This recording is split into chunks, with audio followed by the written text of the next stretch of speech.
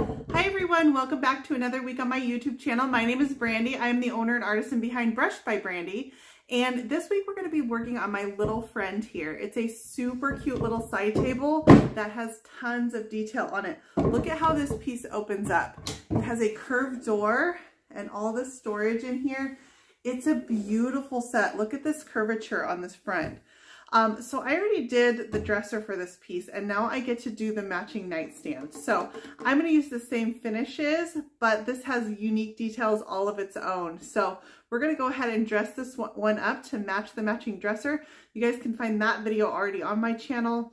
Um, I'll link it in the description as well, but this is a really cute piece. Um, there's a million different directions I could have gone with this one. I actually really liked the veneer. It's got a really pretty veneer pattern. Can you see the chevron detail that's in there? I would have loved to leave some of this wood exposed, but these are a custom order that are going home to a customer. Um, she's got a really pretty metallic bed frame that we're using as our inspiration, and this one's going to be to match. So really going to play up the class and elegance of this piece. Um, wait till you see it when it's finished. So um, I hope you guys enjoy. Click that subscribe button. Let's go ahead and get started.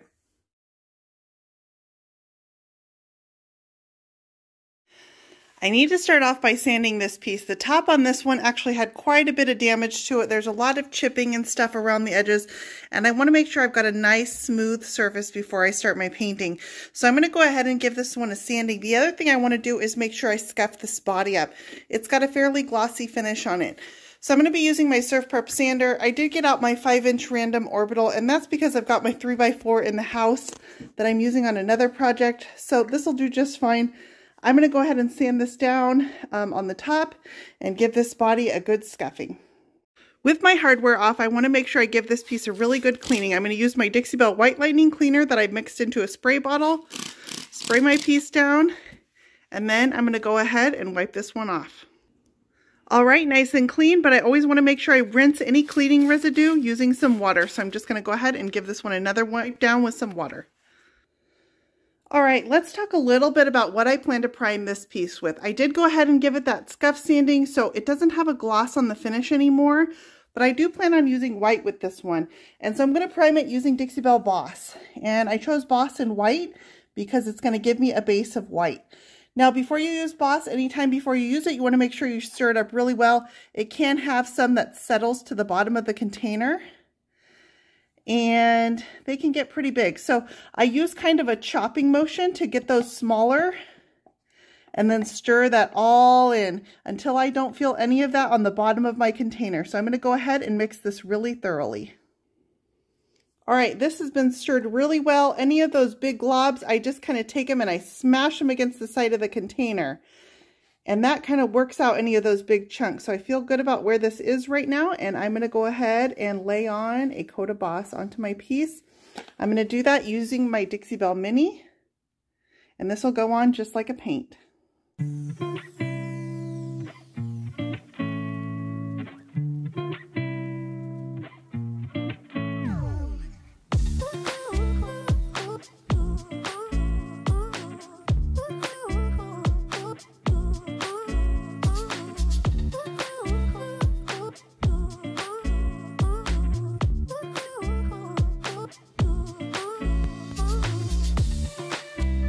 My first coat of Boss is just about dry on this piece, but I wanted to show you something that's coming through, and that is this spot right here. And I'm not sure if you can quite tell on camera, but there is definitely a yellow spot right here.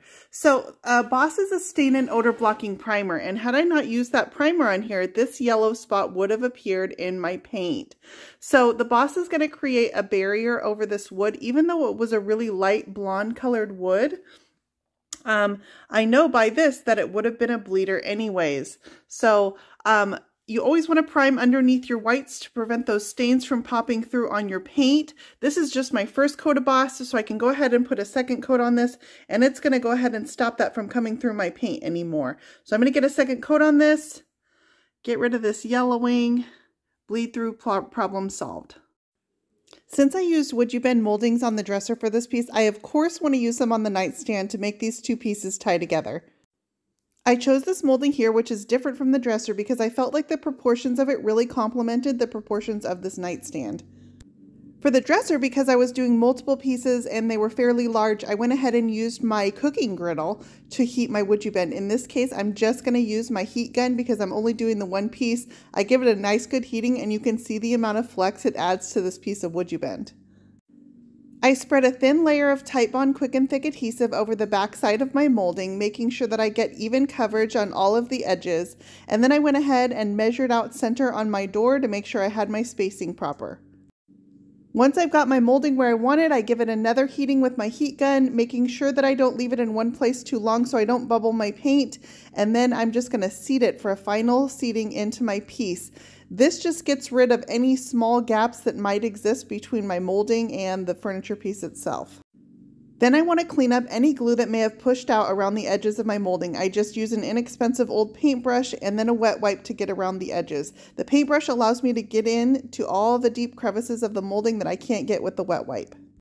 So here it is. Look around the edges of this molding and see how well it's seated to the furniture piece. When I paint this, it's going to look like an original detail of this nightstand.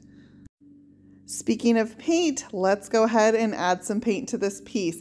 I'm going to start out with a coat of French linen, just going over the tops of all of my moldings. French linen is actually going to be a base color for my metallics. I'm using metallic on this piece, and because they have less pigments than the flat paint, I want to make sure I give them a base coat of a similar color in the flat paint for coverage.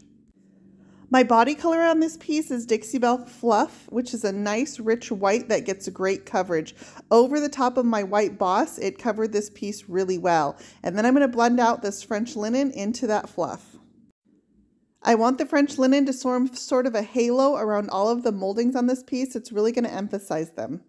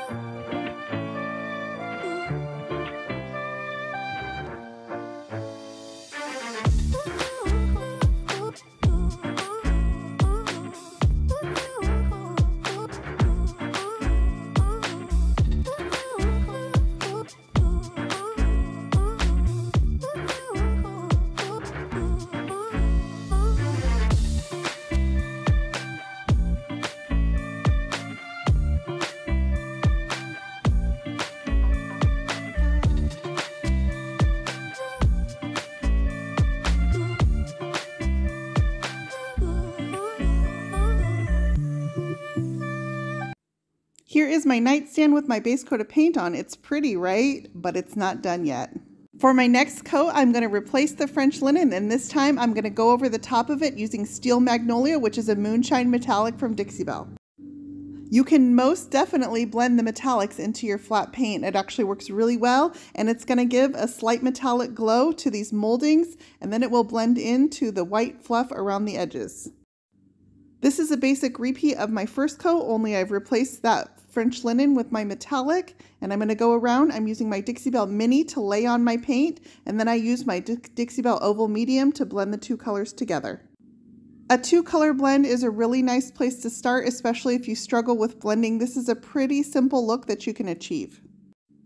I keep my Dixie Belle Oval Medium nice and dry and I use that as my blending brush. So I just come and I'm going to swirl those two colors together anywhere they meet up.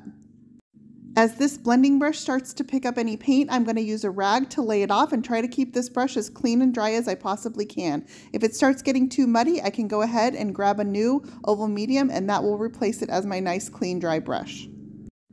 The sides also get a nice light blend. I just added a little bit of my Steel Magnolia along the top and the bottom, and then I'm going to blend that into my fluff.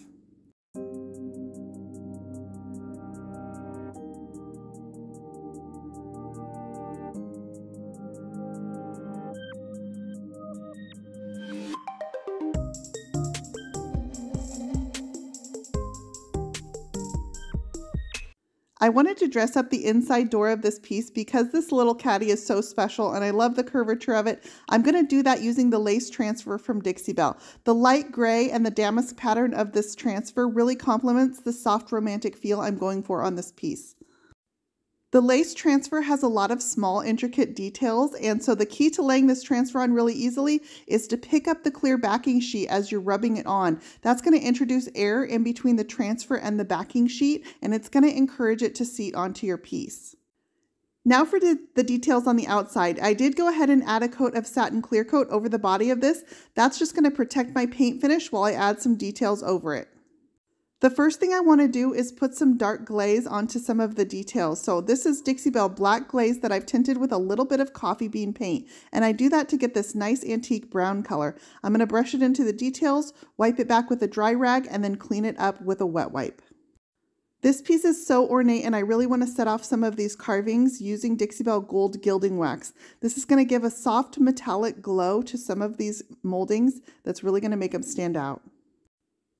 I also did the same black glaze on top of the WoodUBend and the natural moldings that are already on this piece, but I want to go ahead and outline some of this pinstripe detail using Dixie Belle Grunge Gray Wax. The Grunge Gray is just going to darken it up ever so slightly so it emphasizes that soft halo that I created with my paint. You can see how much dimension it adds using the dark glaze in the low points uh, on my moldings, and then I use that gold gilding wax on the high points, plus my paint finish adds a lot of depth and dimension. It is staging day on this little nightstand. It's really been a fun piece to work on. I love this size of it. Um, so let's talk a little bit about how I have it set up. So I wanted it to be reminiscent of the larger dresser that was also staged similarly. So I pulled out the same gold frames that I used on the dresser, the single white flower up here at the top, only I chose to add a pop of color on this one with the pink flowers, and that's because it's such a small piece it could use that little bit of an accent. So when I step back on my photos, this is kind of where it's going to look like. This is a little bit larger view. Um, I kept all my staging items down low because this is a nice low piece, and I think it brings out the little bit of gold in it, just very simple and that tiny pop of color.